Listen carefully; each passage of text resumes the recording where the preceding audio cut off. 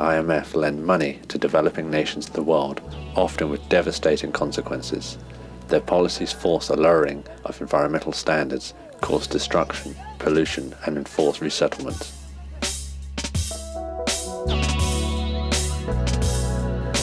In September 2000, the World Bank and International Monetary Fund met for the 55th time.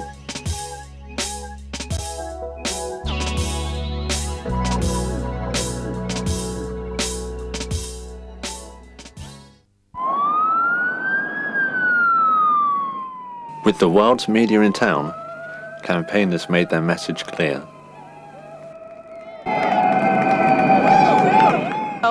This is uh, our friends. Uh, first, uh, this guy in yellow jacket is from Poland, and he's anarchist, like us.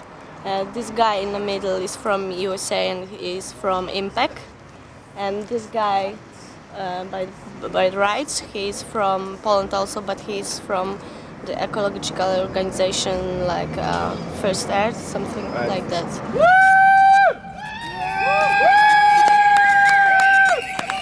It's really, really big banner because it's uh, 12 meters by 6. Do you know how long they are planning to stay there? Uh, first, they want to stay a couple days by really? the hammock. Really? Yes, but now uh, the police, they uh, talk with police and they, the police uh, uh, give them the permission to to to take this banner, but they they must go out. This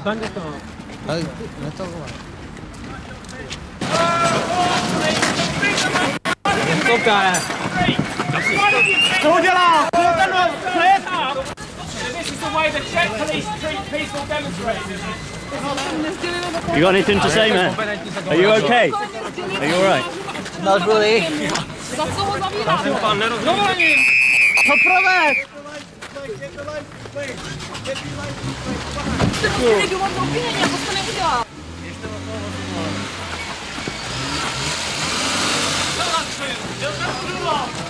But your action tomorrow will go as planned. you still plan to. Yeah, I mean, that, this is why we're doing what we're doing tomorrow because because of treatment like this, because we're not allowed to speak speak our, our minds around the world, because people around the world are, denied democracy, denied freedom, uh, are in poverty, are, are the healthcare, they have no health care. That's why we're speaking here. So of course we'll continue. Nothing will nothing will stop us. We will shut them down. The 20,000 who travelled from all over the world had one aim to bring the meeting to a halt. And if they can't divide us, then they'll send in the tanks. But we will stand together, pacifists and Zapatistas, workers, farmers, the indigenous, tree huggers and baristas. We'll shut them down. We'll shut them down.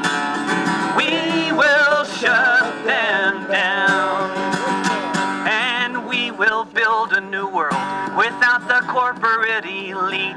And we will In a disused warehouse, artists spent days preparing for the demonstration. This is what we call the art space, right? And it's a kind of workshop we're organizing just to prepare materials and devices to somehow go with our protest, right? The protest we are preparing against the IMF and the World Bank. This is going to be um, a Czech, uh, a bug from Czech folklore, like a, a, a bug that always knows best and, and, and knows everything. Can now be uh, a giant fat cat, um, World Bank, IMF um, bug instead. The idea is to make it a, a visual. There's so many languages, right? It's it's got to be visual. It's got to be sound. It's got to be, you know, power and numbers. Just come at it from every angle. But it's also how I work individually uh, on my own anyways in, in my own hometown. I, I paint banners and comic style posters and I put them up in the city. It's my own individual activism, I guess. What we're going to do is try to march down to the conference centre and blockade and try and stop them from leaving.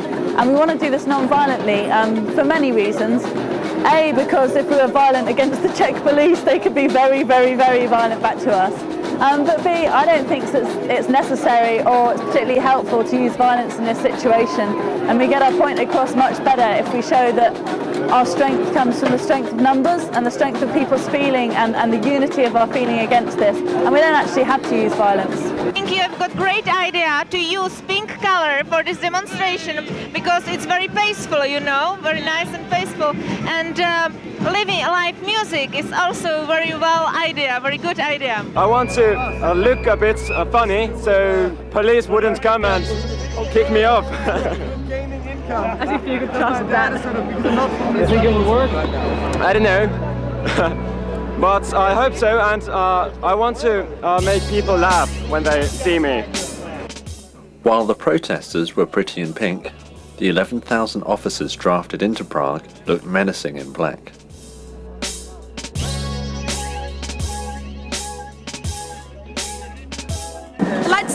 Say to the IMF leaders, look out the window, take a chance to look out and notice there's loads and loads of people in the world who aren't just you and who have a lot to say about the decisions that you're making and have a listen for once to what we're saying.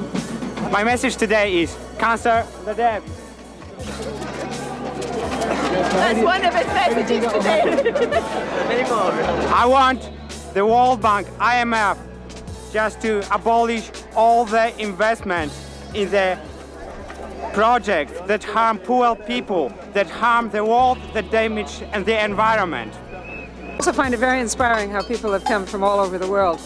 Uh, we've got groups from all over Europe, but also America and South America, uh, which shows that this is an international problem. It isn't uh, limited to one country or to one group of people within a country. The IMF has got to go, hey, hey! Ho, ho! The IMF has got to go, hey, hey! Ho, ho! The IMF has got to go. And it's a song we sing in, in England. And it's for you too. And it goes like this. No one's slave, I am no one's master. No one's slave, I am no one's master. On my grave, they will write this after I am gone. I will be gone, and then my flesh will go to the earth it lived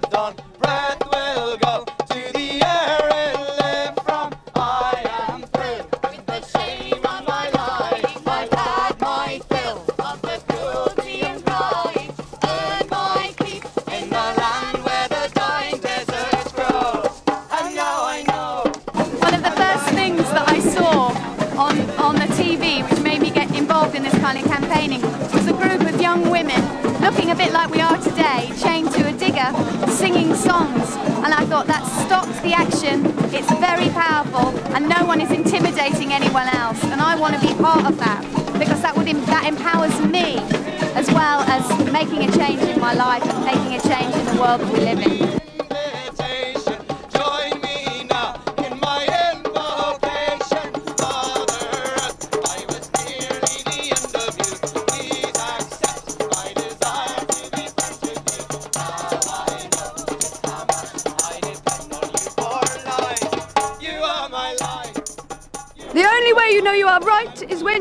Happy.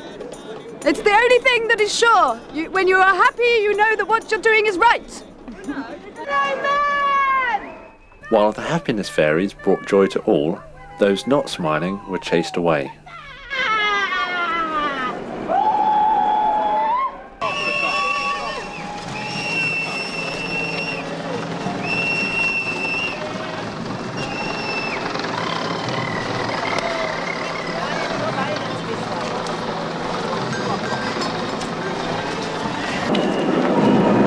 At the conference? What's the atmosphere inside the conference like? What do you think of the protests? Right. Do you have any comment on what's happening?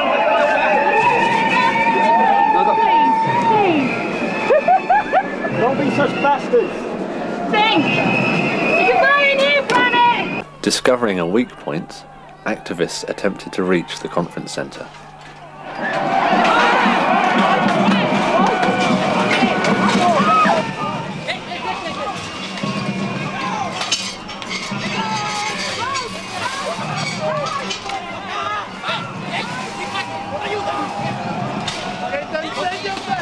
Responded with stun grenades, tear gas, and water cannons.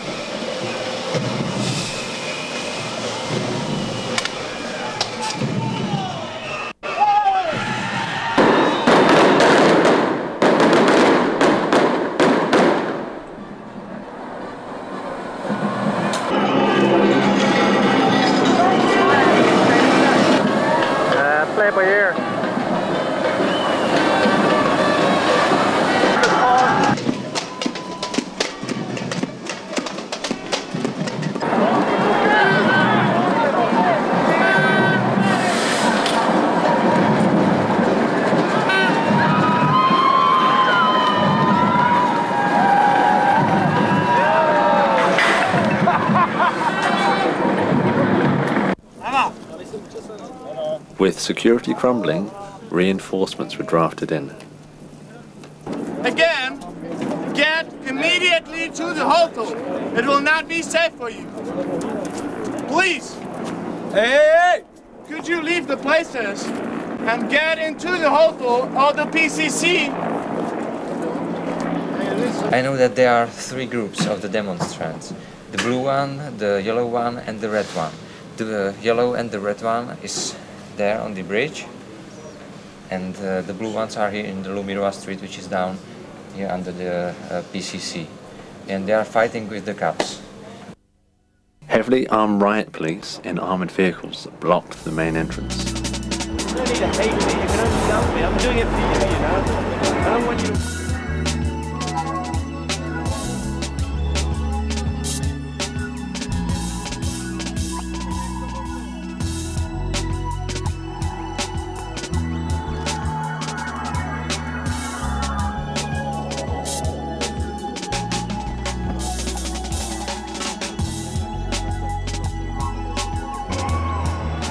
These Italian activists were the first to model a new range of suits designed to counteract police attacks. know that the police will try to, to, to stop us. That's why we are protected with our body with this protection, but we don't have stones, we don't have sticks, we don't have bottles, and we don't want any offensive act against the police that is not altogether decided.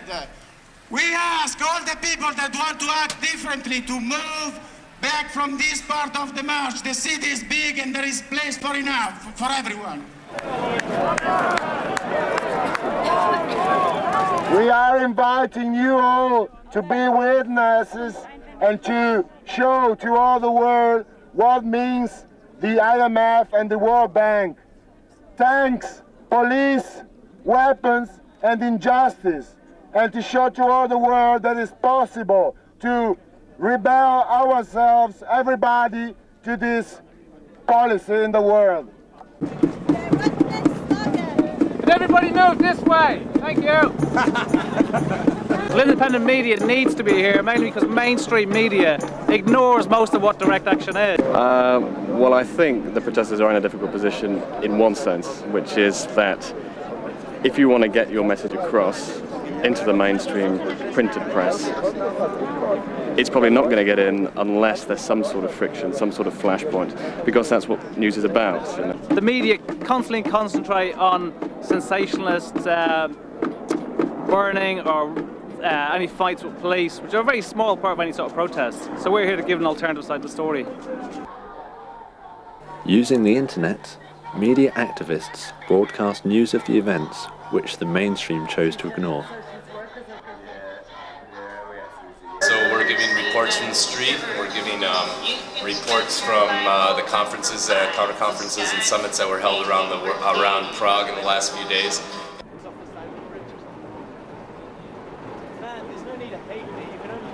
Outside, independent journalists were being harassed by police.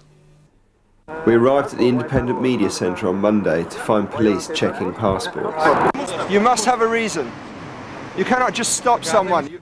From our understanding, it was illegal under Czech law for them just to randomly stop people and ask to see their passports.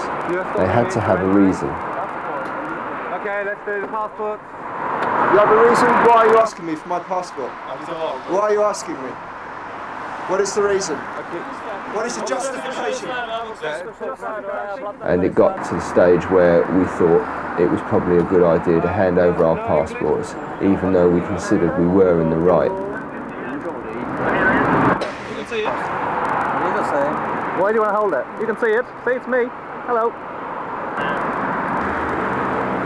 As was the case on many other occasions, what our rights were on paper was a completely different story to what was happening on the street.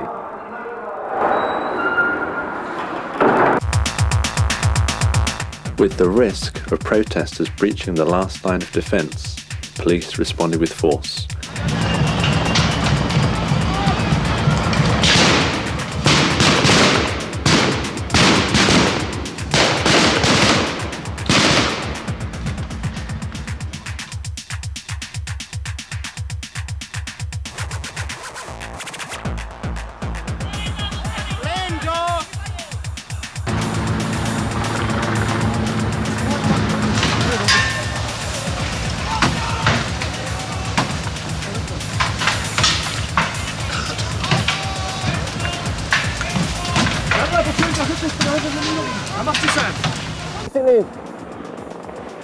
The police are just pushing everyone down the hill with the water cannons. This is the blue march. There's another set of people sat down. Uh, the red march is holding on the bridge. Um, basically, tear gas, bangers, water cannons. Uh, I think the bad move was throwing the stones, but that's just my opinion.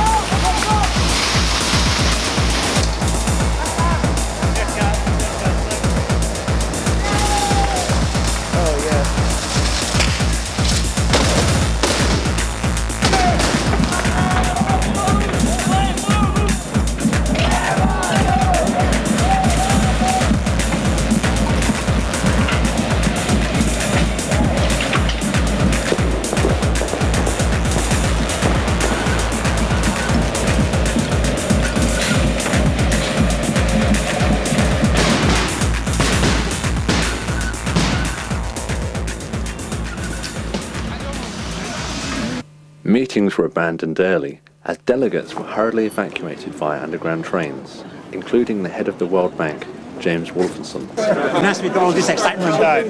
May I ask you how you react to the events of today? Yeah, it's uh, interesting. Interesting. Do you think it'll force any more changes on the... Uh... Now, okay, thanks a lot. Thanks a lot.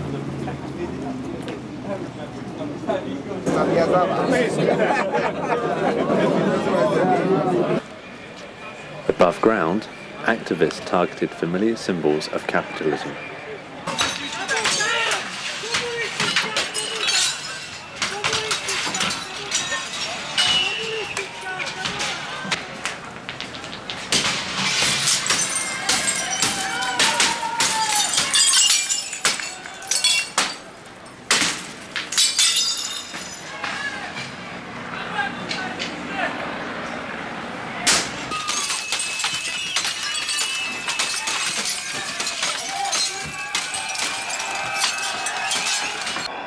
Think trashing McDonald's is a really stupid idea just because a lot of people love McDonald's as the happy face of capitalism. But I think that any company that will fuck the land over, will fuck people over, will abuse, will violate, does deserve to be hit in their pocket at the end of the day because it's the only way they think. They think of their hands in their wallets. And if you can affect that, then more power to it. You can arrest us. You can hire the police in every country to arrest us, to beat us, to put us in prison.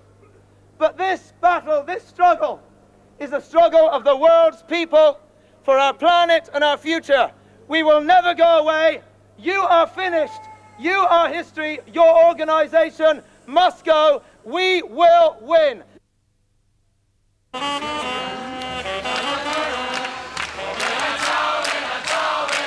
Protests continued the next day despite 364 arrests.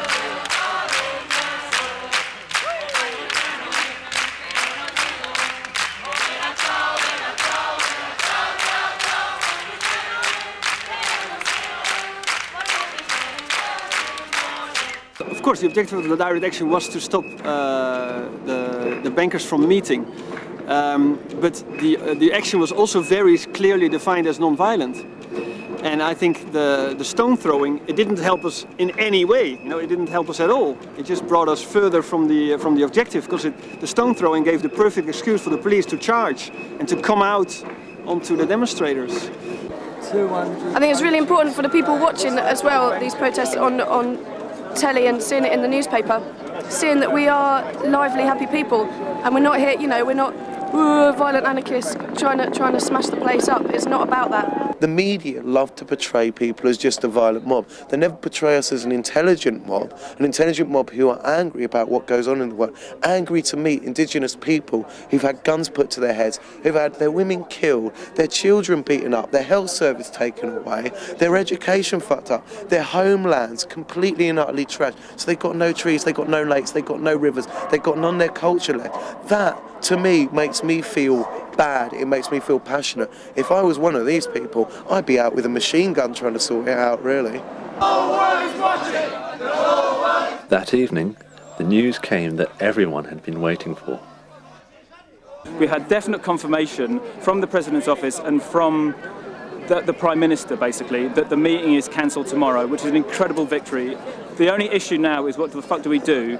Our compañeros, our friends, are in jail now, being brutalised. Women have apparently been sexually abused, and people are being beaten. So, in my opinion, that's where we should definitely go and try and find them. A prisoner solidarity demonstration resulted in a further 40 arrests. We were linking arms, and there was a real good feeling of solidarity. I was I wasn't with people that I'd met ever before, um, and it was just a really really strong feeling that we were in this together. Um, that this was what we had to do, and this was very important.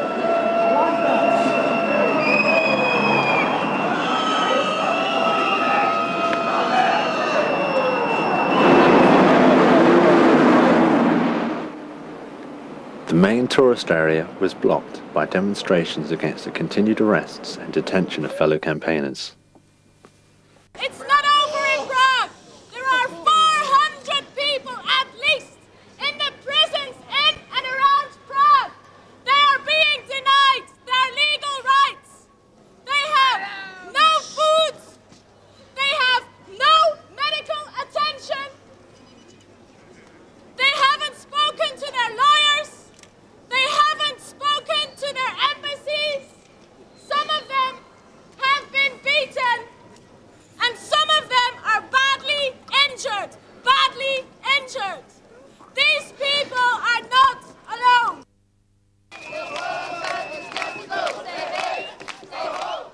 After word spread that the meeting had been abandoned, campaigners partied in Prague's main square.